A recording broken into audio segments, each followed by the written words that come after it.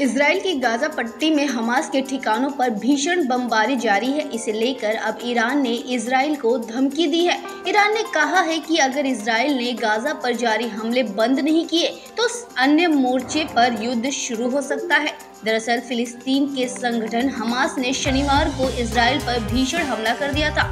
Hamas ने पहले Israel पर हज़ारों रॉकेट दागे फिर उनके लड़कों ने इसराइली इलाकों में घुसकर कत्लेआम मचाया।